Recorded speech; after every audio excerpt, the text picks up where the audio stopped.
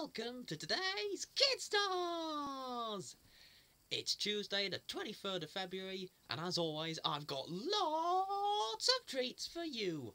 Like Pingu to start off with and today he gets a postcard! Oh cool!